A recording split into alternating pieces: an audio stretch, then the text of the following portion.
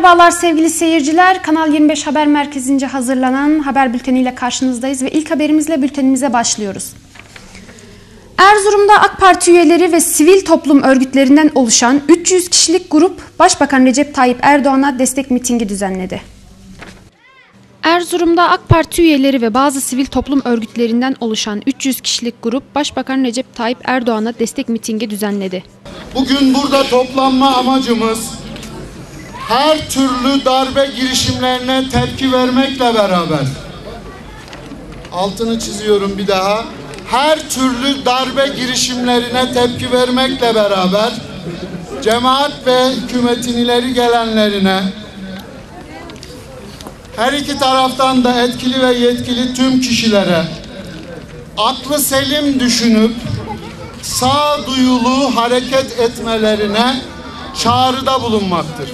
Bu amacımız inşallah hayırlı olur. Merkez Yakutiye ilçesindeki Yakutiye Medresesi'nin bulunduğu kent meydanında bugün öğlen saatlerinde toplanan AK Parti üyeleri ve çeşitli sivil toplum örgütleri düzenledikleri gösteriyle Başbakan Recep Tayyip Erdoğan'a destek verdi. Bütün Müslümanlara sesleniyorum. Gelin dış güçlerin planı olduğu apaçık belli olan bu oyunu bozalım. Bozalım. Çocuk katili Siyonistlerin ve Avengelist Amerikalıların hevesini kursaklarında bırakalım. Bırakalım. Dünya fanidir. Ölüp hesap vereceğiz. Zerre iyiliğin ve zerre kötülüğün hesabını vereceğiz. Gelin iyilik için çalışalım. Barış içinde çalışalım. Güç birliği yapalım. El birliği yapalım. Siyonistlerin ve Avengelistlerin hevesini kursaklarında bırakalım. 17 Aralık'ta başlayan operasyona tepki amacıyla bir araya gelen kalabalıktakilerden bazılarının kefen giymesi dikkat çekti. Taşınan pankartlarda beddua etmem üzülme sandığa gömer giderim, sevdana kurbanız sevdalı adam, bir dershane uğruna yarab ne hainlikler yapılıyor, meydin cemaat yazdı. Hazırlanan ortak basın açıklamasının okunması ardından Erzurum Kanaat Önderi ve Vuslat Derneği'nin onursal başkanı Şevkat Gökşan dua okudu. İlahi ya erhamer rahimin ve ya hayren nasirin. Ve mekaru mekarallah Allahu hayrul makirin buyuran sensin. Onların kendilerince bir takım oyunları, planları, hileleri ve desiselerinin olduğunu ama onlarınkini bozacak daha büyüğünü senin yaptığını bize haber verdin. Ya Rabbi amenna iman ettik. Fazl-ı kereminle tecellisini göster ya Rabbi. Amin. Ya Rabbi Yavuzlar gibi olmaya bizi muvaffak eyle. Allah'ın Fatih'i Fatih eden ruha dönmeye bizi muvaffak eyle. Amin. Bu millete ait olan öz değerlerine dönmeye muvaffak eyle. Amin. Ya Rabbi ve iz yemkur bikellezine keferu liyusbituke ev yaktuluke ev yuhricuk ferman ilahinle bugün oynanan oyunu 1400 küsür sene öncesinden bize haber verdin. Onlar sizi durdurmak istiyor. Onlar sizi yurdunuzdan etmek istiyorlar. Onlar sizi öldürmek istiyorlar. Onlar sizi bir yere tıkamak istiyorlar. Allah'ım sahibimiz sensin. Ümmet uyanmaya başladı. Ya Rabbi ümmetin uyanışını ikmal eyle. Erzurum'da camiye giderken buzda düşerek kafasını çarptığı tahmin edilen bir kişinin cesedi cami avlusunun girişinde bulundu. Erzurum'un Yakutiye ilçesi Pervizoğlu Camisi girişinde bugün sabah saatlerinde 60 yaşındaki Şamil Şimşek'in cesedi vatandaşlar tarafından bulundu. Durumun polise bildirilmesi üzerine olay yerinde inceleme yapıldı.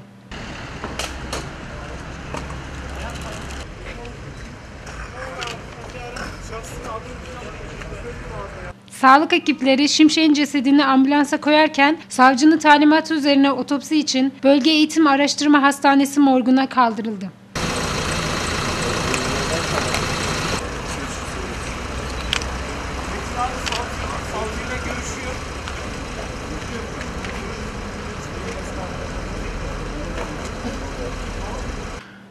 Yapılan ilk incelemede o civarda bakkallık yapan Şamil Şimşek namaz kılmak için camiye gittiği, bu sırada ayağının buzda kayması sonucu düşerek kafasını sert bir zemine çarptığı ve beyin kanaması geçirdiği belirlendi.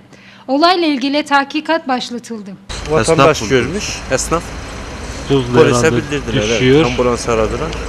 bir saat önce ölmüş doktorun söylemesine işte Beyin kanaması mı dediler? beyin kanaması söyledi evet. Buzla düşmeden muhtemelen. Herhalde ayağı kaymadan dolayı düşmüş. Kapının dibinde kafasını herhalde bu demir kapıya vurmuş. Beyin kanaması. Milliyetçi Hareket Partisi Palandöken Belediye Başkan adayı Ahmet Kazanç seçim çalışmaları kapsamında bugün ilçe esnafını ziyaret ederek karanfil dağıttı. 30 Mart 2014 tarihinde yapılacak olan yerel seçimler öncesi Milliyetçi Hareket Partisi Palandöken İlçe Belediye Başkan adayı Ahmet Kazanç bugün esnaf gezisi yaptı ve sorunları dinledi. Allah nasip ederse dua ve desteklerinizi bekliyorum. İnşallah. Allah'ım hayırlısı. Amin. Allah razı olsun. Hayırlı başarılar nasip. Amin. Allah razı olsun. Ben de açayım. Allah razı olsun. Nasıl gidiyor işler? Havada bugün güzel. İşler de inşallah güzeldir. Milliyetçi Hareket Partisi. Rabbim hayırlı işler nasip etsin. Ahmet Kazan. İyi misin? Var mı bizlerden bir isteğiniz? Şu anda canınızın sağlığı inşallah iyi çalışmalar olur. Ha, Biz birlikte burayı Beraber olacağız inşallah. yürüteceğiz. Birlikte pazarımızda, köylümüzde, kentimizde hep beraberiz. El ele, gönül gönül. Gönül seferberliği başlatmışız hep beraber. İnşallah. Allah'a emanet olun. Hayırlı çalışmalar. Görüşürüz. Teşekkür ederim. Palandöken ilçesinde hafta sonları kurulan halk pazarını gezen Başkan adayı Ahmet Kazanç, Mekke'nin fethinin yıl dönümü münasebetiyle seyyar esnafa karanfil dağıttı. Hacım merhaba. Ne var ne yok? Buyur hacı dede. Allah'ından öpüyorum dua ve desteklerini bekliyorum. Rabbim nasip ederse Ahmet Kazanç, Milliyetçi Hareket Partisi falan döken belediye başkanı. Tamam inşallah. Dua ve desteklerinizi bekliyorum. Allah'ım vazgeçer. Amin. Allah sizden yüz bir sefer razı olsun. Dua ve desteklerinizi bekliyorum. Selamun aleyküm. Allah hayırlı pazarlar nasip etsin. Ne var ne yok? İyi misin? Kardeş merhaba. Nasılsın? Pazar esnafının sorunlarını dinleyen Kazanç, gezi sonrasında basın mensuplarına açıklamalarda bulundu. MHP Palandöken Belediye Başkan adayı Ahmet Kazanç, seyyar esnafın kapalı mekanlarda müşteriye hizmet etmesi için projeleri bulunduğunu belirterek halktan destek istedi. Şimdi bizim niyetimiz Rabbim nasip ederse, Allah murad ederse Milliyetçi Hareket Partisi olarak Erzurum'umuzu modern bir şehir haline getirmek adına dört arkadaş kader birliği yaptık ve yemin ettik. Memleketimizi modern bir şehir yapacağız. Allah nasip ederse şu anda görüyorsunuz pazarcının halini. Bunları da modern, rahat bir şekilde pazarlarını sergileyebilecekleri mescidiyle, lavabosuyla, dinlenme alanlarıyla bir pazar yerine dönüştürmek adına elimizden ne geliyorsa burada sizlerin huzurunda, pazarcı esnafımızın huzurunda sözünü de vermiş oluyoruz. Erzurum'da Halk Sağlığı Müdürlüğü tarafından sevdiklerimizle sağlığa yürüyoruz temalı yürüyüş yapıldı. Erzurum'da Halk Sağlığı Müdürlüğü tarafından sevdiklerimizle sağlığa yürüyoruz temalı yürüyüş yapıldı. Etkinlik Palandöken yolu üzerinde kızak gösterisiyle başladı. Palandöken Dedeman önünde yapılan doğa yürüyüşüyle devam etti. Kızak yarışmasıyla da sona erdi.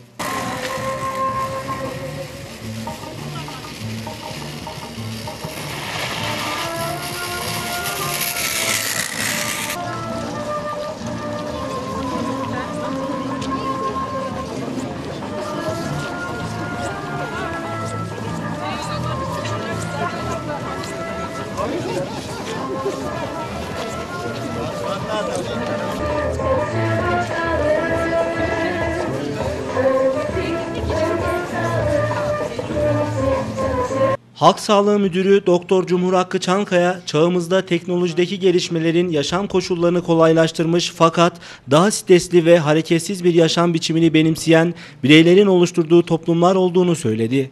Erzurum'umuzun ve Türkiye'nin en güzel kayak testlerinden biri olan Palandöken'de hareketin karda da kış sporlarıyla da olabileceğini göstermek üzere bir etkinlik planladık.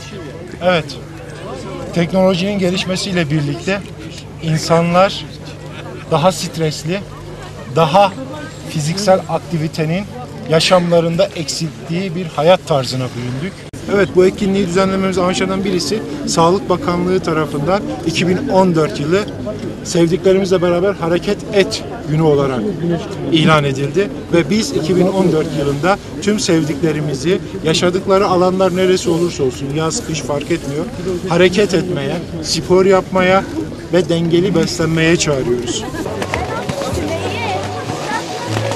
Biz gidiyorsun.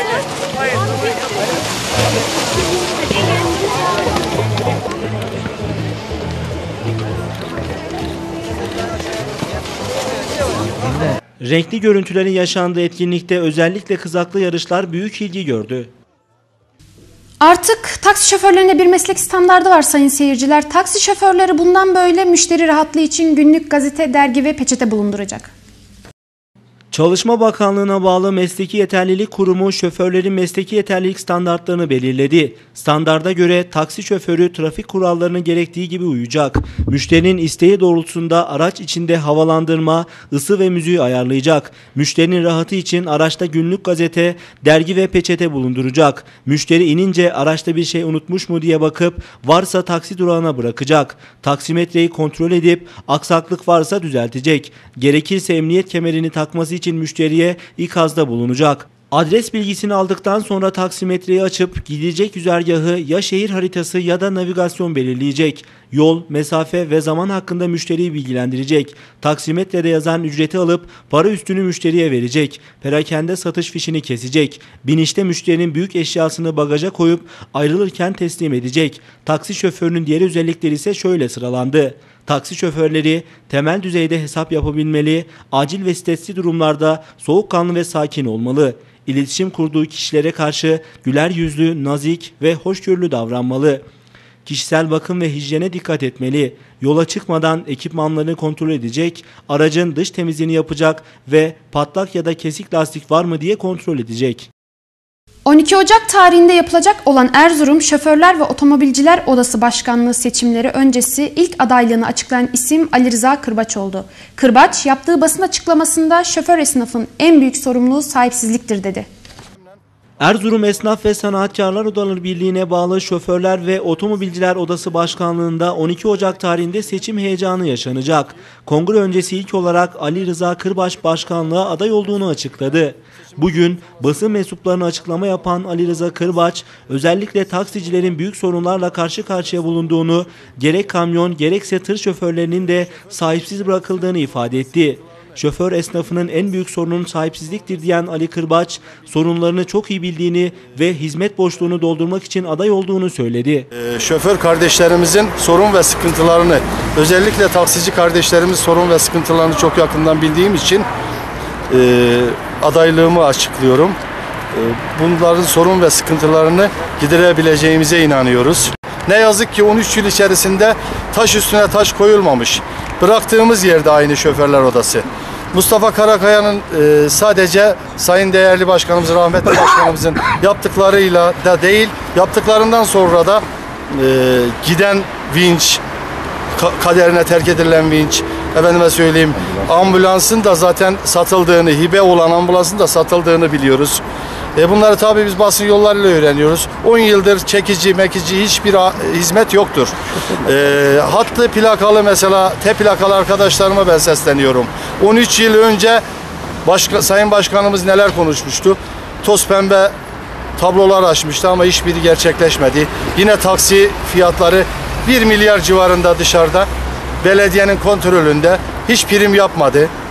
Artı terminalde yapılan bir terminalın bir özel şirkete verilmesi nedeniyle taksicilerimiz mağdur olmuştur. Bizim amacımız hizmet, hizmet için geliyoruz. Allah'ın izniyle de hizmet için yapacağız bu işleri. Özel Halk Otobüsleri Derneği'nde bugün seçim heyecanı yaşandı sayın seyirciler. İki adayın yarıştığı kongrede Yusuf Cindilli başkanlığa seçildi.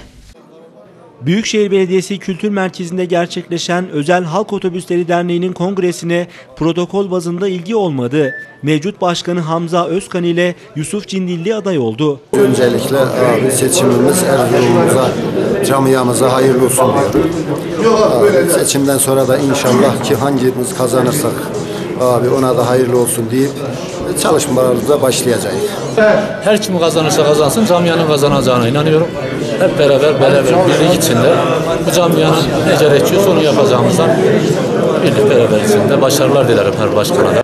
Toplam 134 üyenin oy kullandığı kongreye katılım bazında ilgi fazla oldu. Divan Başkanlığı'nın seçimiyle başlayan kongrede daha sonra diğer gündem maddeleri görüşülerek seçime geçildi. Mevcut Başkan Hamza Özkan ile Başkan adayı Yusuf Cindilli'nin konuşmalarının ardından üyeler sandık başına gitti. Yapılan seçim sonrasında Yusuf Cindilli 85 oy, mevcut Başkan Hamza Özkan ise 49 oy aldı. Kanal 25 Haber Merkezi'nce hazırlanan haber bülteninin sonuna geldik sayın seyirciler. Yayında ve yapımda emeği geçen tüm ekip arkadaşlarım adına mutlu günler diliyorum. Hoşçakalın.